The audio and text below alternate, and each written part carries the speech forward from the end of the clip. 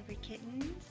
Well, I just finished my workout. I had a pretty intense workout. I ran three miles, did some jujitsu, and I trained legs today.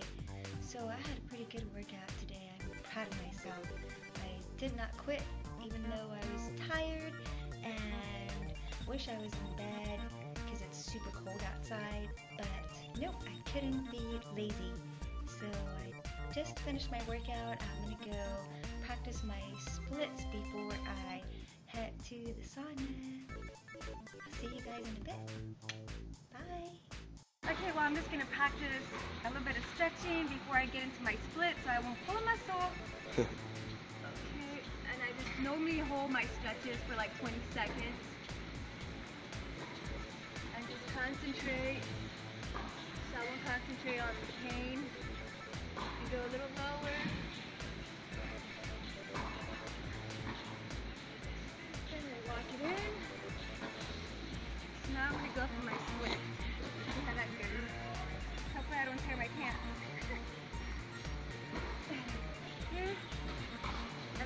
Know hold for like 20 seconds.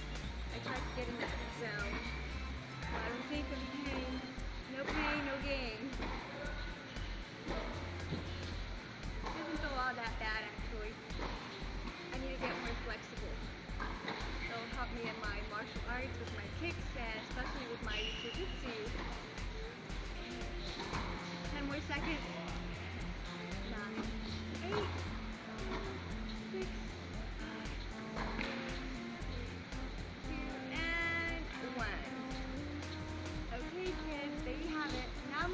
You guys my favorite ab workout for the week, okay?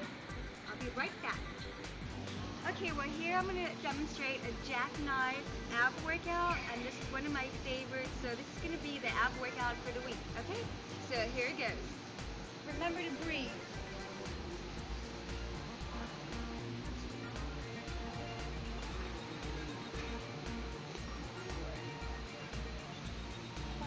And this is a really great ab workout.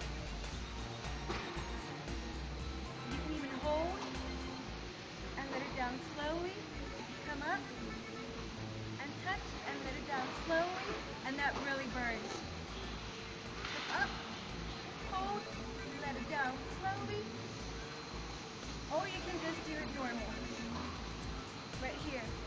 And for those of you who don't have a little medicine ball, you can always just come up on your elbows right here and just lift your legs up. Just like that. And remember to breathe. Just right here. And you can do like three sets of 15, three sets of 12. If you're just beginning, I would suggest three sets of 12. But if you're more advanced, you can do three, four sets of 30. That's super advanced. And always remember to breathe. Okay? Well, there you have it. My splits and the workout for the week.